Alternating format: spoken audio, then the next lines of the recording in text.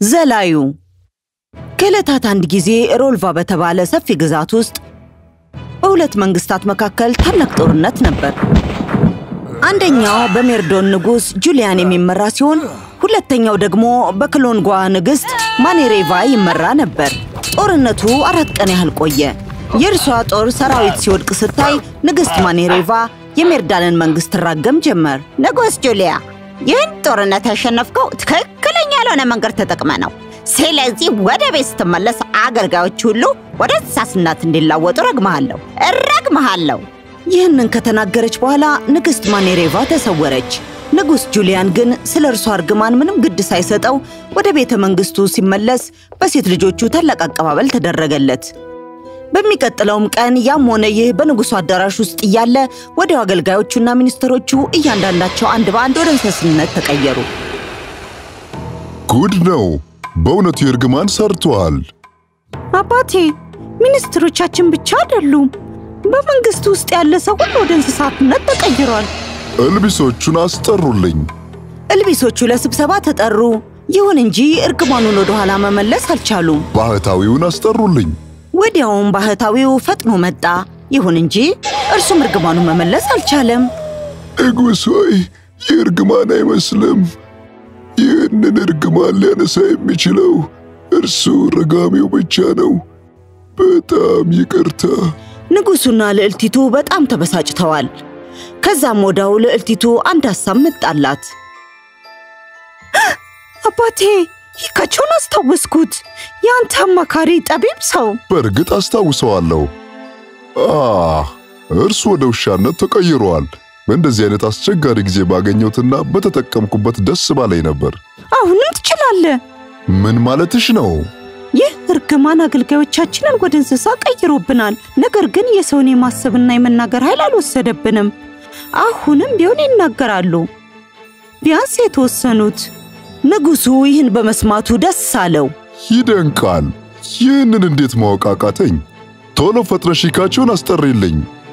ልዕልታሪያ ሂካቸውን አስጠራች። እርሱም ፈጥኖ መጣላቸው። ደህና መጣ ሂካቸው። እንዴት ከረምክ? እኔ ወደ ውሻነት ተቀይሬያለሁ። ምን እንደሆን ካስባችሁ ነበር? እ እባክህ ወዳጄ ሆይ አሁን ሰላምታውን ለጊዜው እናቆየውና አሁን በቀጥታ ወደ ጉዳያችን እንግባ። ያ ጥሩ መልካም ነገር ነው። ንገረኝ ሂካቸው፣ ከዚህ እርግማን ውስጥ ሊያወጠን የሚችለው ምንድን ነው? ባህታዊው ቀደም ሲል እንዳለው ይህ እርግማን ሊሰበር የሚችለው በረጋሚው ብቻ ነው። ያለው መፍትሄ አንድ ብቻ ነው የሚመስለኝ። እየሰማው ነው። ከንግሥት ሚነርቫ ጋር የሰላም ስምምነት ማድረግ አለብን። እኔ ተዘጋጅቻለሁ፣ ግን አንተ ታውቃታለህ። በምንም አይነት መንገድ ለሰላም ፈቃደኛ አትሆንም። እንግዲህ የምትፈልገውን ነገር ስጦታ ታዲያ በዚህ ጊዜ ንጉሥ ጁሊያን ጸጥ ብሎ ይበሳጭ ጀመር። ምንድን ነው የምትፈልገው እርሱ አባቴ? የኔ ልዕልት የምትፈልገው ታምረኛው ሰይፍ ነው። ታምረኛውን ሰይፍ? ይህ እኮ የአባቶቻችን ሰይፍ ነው፣ ከትውልድ ወደ ትውልድ ሲተላለፍ የመጣ ከእርሱ የምናገኘው ኃይል ሰራዊታችን ረሃብን፣ ጥማትን፣ መከራና ሞገድን ተቋቁሞ በጠላት ላይ ድል ያቀዳጀናል። የአንቺ አያት ነው ለእኔ ሰጠኝ። እናም ተስፋ የማደርገው አንድ ቀን ወደ ባልሽ አሳልፋለሁ እያልኩ ነበር። አዎ፣ አሁን ግን ይህ ሁሉ የሚቻል እንዳልሆነ ይታወቀኛል። እልቢሶቹ ወደ ክሎንግ ላኳቸውና ንግሥት ሚኔርቫን ወደ ዓመታዊ የዝላይ ፌስቲቫል ይጋብዟት። ንገሯት፣ በበዓሉ መጨረሻ ላይ እኔ ራሴ ተአምረኛውን ሰይፍ አስረክባታለሁ። መልእክተኞቹ እልቢሶች የንጉሡን መልእክት ለንግሥት ሚኔሬቫ አቀረቡላት። እርሷም ሳቀች። በመጨረሻም የተጠበቀው ቀን መጣ። እኔ ግብዣውን እቀበላለሁ። ንጉሥ ጁሊያንን እንዲህ በዚያ መሃል ላይ ለመሳተፍ እገኛለሁ። በዚያውም ሰይፉን እረከባለሁ። ወዲያው የዓመቱ የዝላይ ፌስቲቫል የሚከበርበት ጊዜ ወቅት ደረሰ። ሰው ሁሉ ተደንቋል። ንጉሡና ልዕልቲቱ የክብረ በዓሉን መጀመር አሳወቁ። ንግሥት ሚኔርቫ በዚያ ተገኝታ ነበር። አሁን ከተሳታፊዎቹ መካከል እንቁራሪት፣ ጥንቸልና ፌንጣ እስከ ዛሬ በሜርዶን ከተደረገው የዝላይ ውድድር በበለጠ የዓመቱ ምርጥ ዘላዮች ሆነው ታወቁ። አሁን የምንጀምርበት ጊዜ ደርሷል። ንጉሥ ሆይ መልካም ነው። እንደምን ዋላችሁ ሁላችሁም። ወደ ዓመቱ የዝላይ ፌስቲቫል እንኳን በሰላም መጣችሁ። አሁን ውድድሩ ይጀመራል።! በመጀመሪያ የማቀርብላችሁ እንቁራሪት ሰላም ይብዛልዎ ንጉሥ ሆይ፣ ልዕልት አራያ፣ ንግሥት ሚኔርቫ ክሎንግ፣ ሰላም ለእናንተ የሜርዶን ፍጥረታት ሁሉ። እንቁራሪት እባላለሁ። የመጣሁት ከሰሜን ሸለቆ አካባቢ ነው እና በዚህ በታላቅ የዝላይ ፌስቲቫል ላይ በመገኘቴ ደስተኛ ነኝ። ንጉሡ በእንቁራሪቶቹ ባሳዩት በጣም ተደስቷል። ይህ በጣም ስርዓት ያለው ነው። ሰው ሆኖ ምን ሊመስል እንደሚችል ግርም ይለኛል። ምናልባትም ሁሉ መልካም ከሆነ እናም እርግማኑ ከተሰበረ አንቺን እንዲያገባሽ እንጠይቀው ይሆናል። ጀመረ ደግሞ አሁን እንቁራሪቱ ወደ መድረኩ ላይ በመውጣት ቦታውን ያዘ። ታዳሚው አሁን ይጠብቃል። በረጅሙ ወደ ውስጥ ከተነፈሰ በኋላ የመጀመሪያውን ተስፈንጥሮ ሊዘል ሲል ዝንብ መታ በላዩ ላይ ታንዣብብ ጀመር። በጣም ስለተረበሸ ያችን ዝንብ ያባረራት ጀመር። ፍርሽ ፍርሽ እኔም ይህንን ትንሹ እንዲሳተፍ በፈቀድኩለት ኖረው ከዚህ በተሻለ መንገድ ይሰራ ነበር። መልካም። ያ የሚያስደስት ነገር አይደለም። አይዟችሁ፣ ምንም አይደለም። ቀጥሎ የማቀርበው ጥንቸል። ብራቮ! ሰላም ይብዛለሁ ንጉሥ ሆይ፣ እኔ ጥንቸል እባላለሁ። የመጣሁት ከዘሊና ወንዝ በስተማዶ ከሚገኝ ተራራ ነው። ጥንቸሏ መልካም ባህሪ አሳይታለች። ንጉሡም በዚህ ተደስቷል። እኔ አልወደድኩትም። ጥንቸሏ በጣም ከተንደረደረች በኋላ በኃይል ዘላ ከንጉሡ ፊት ለፊት አረፈች። ንጉሡም ተገርመዋል። ይደንቃል ጥንቸል፣ በጣም ጥሩ። ንግሥት ሚኔርቫ በጥንቸሏ ዝላይ በጣም ተደንቃለች። እርሷም ፈገግ ብላ በእጇ አጨበጨበች። በመጨረሻም የማቀርብላችሁ ፌንጣ።! ፌንጣው በጣም ዝምተኛ ነው። አንድ ቃልም አልተናገረም። ንጉሡንም ቢሆን ሰላምታ አልሰጠም። አሁን ከሚያሳየን ነገር ተነስቼ እሱን ነገር ስገምት ይገባኛል። በጣም ጥሩ እና ደፋር ከሆነ ቤተሰብ የመጣ ሰው መሆን አለበት። እንግዲህ መልካም ነው። ሌላ ምንም የምለው ነገር የለኝም። አሁን ውድድሩ ይቀጥል። ፌንጣው የመዝለያ ቦታውን ከያዘ በኋላ ልክ ሊስፈነጠር ሲጀምር ከኋላው በኩል አንድ የሚመጣ ነገር እንዳለ ተሰማው። አየር የሚሰነጥቅ ነገር እየመጣ እንዳለ ተሰማው። ወዲያው ሲገባው ወደ ንግሥት ሚኒሬቫ የተወረወረ አንድ ቀስት እንደሆነ ወዲያው ተረዳ። ከመቅስፈት ፈጥኖ በመዝለል ቀስቱን በኃይል በመምታት አቅጣጫውን አስቀየረው። ቀስቱ ንግሥቲቱን ስቶ ዛፉን መታው። ንግሥት ሚኔርቫ በጣም ደንግጣለች፣ እንዲሁም ንጉሥ ጁሊያን። ወዲያው አንድ ቀስት ደጋን የታጠቀች ንስር ከላይ እየበረረች መታ በፌንጣው ላይ አምርራ ትጮህበት ጀመር።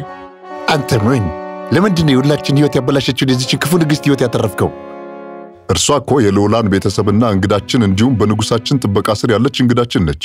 አንተ ልታደርግ ያለኸውን ነገር እኮ የንጉሳችንን ክብር የሚያዋርድ ነበር። ይህን በመስማቷ ንግሥት ሚኔርቫ በጣም ተደንቃ ነበር። አመሰግናለሁ መልካሙ ፌንታ። እናም ንግሥት ቤናሪቫ በጣም በጣም አዝናለሁ። ይቅርታ። እባክሽን ንስርን ደግሞ ይቅር በይው። ንዴቱ ተቆጣጥሮት ነው። እኔ አያገባኝም። የእርሱ ቀስት ምንም ጉዳት አያደርስብኝም። ቢነካኝም እንኳን አይጎዳኝም ነበር። አንተም ታውቃለህ። እኔ አንተ ብዙ አይነት ውጊያዎችን ተቀባብለን ተዋግተናል። ነገር ግን በዚህ ፌንጣ ችሎታ በጣም ተደንቄያለሁ። ይህንን ካለች በኋላ ንግሥት ሚኔርቫ ወደ ፌንጣው እየተመለከተች ወዲያው እጅግ ወደሚያምር ቆንጆ ወታደርነት ቀየረችው። ረግነር ነው ጀግና ወታደር። ልዕልት አርያ ራግነርን ስትመለከተው ፈገግ አለች። እርሷ ሁል ጊዜ ትወደው ነበር ሳታቀውም።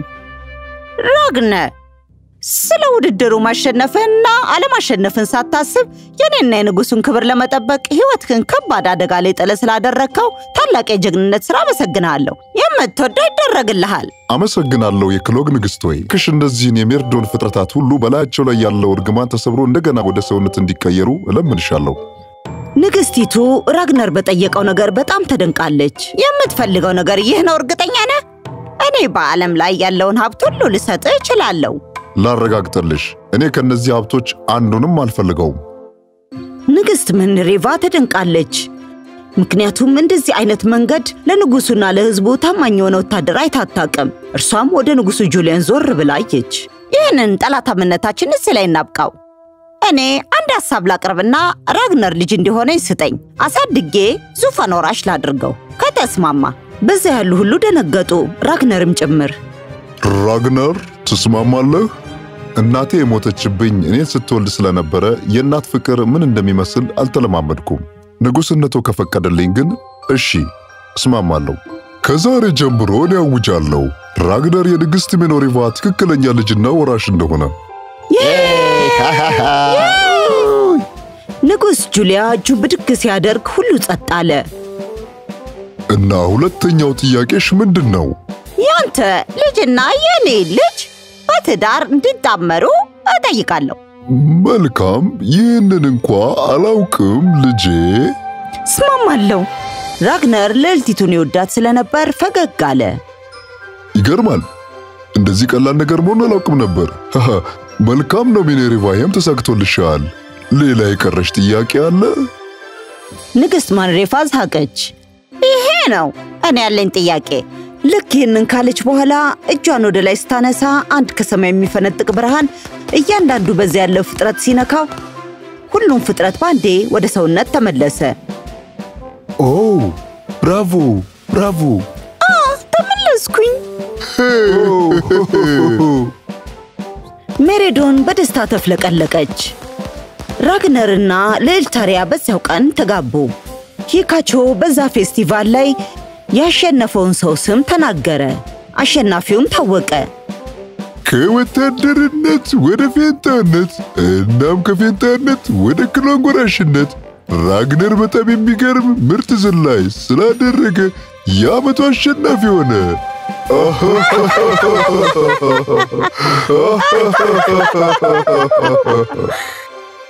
ስለዚህም በሁለቱ ነገሥታት መካከል የነበረው ጠላታምነት እዚህ ላይ አበቃ።